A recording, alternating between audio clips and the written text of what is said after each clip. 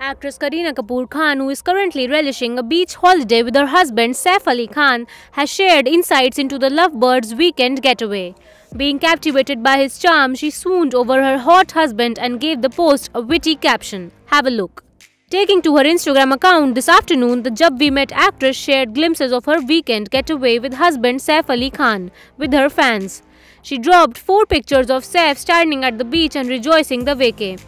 Wearing a pair of black sunglasses, a pair of shorts, and a white t shirt with Beach Gstaad written on it, Saif oozes charm in the images. Bebo, who is known for her fun and witty nature, dropped the post on her social media account and wrote in the caption, Is he advertising the next holiday destination while still on holiday? My hot husband, my Saifu.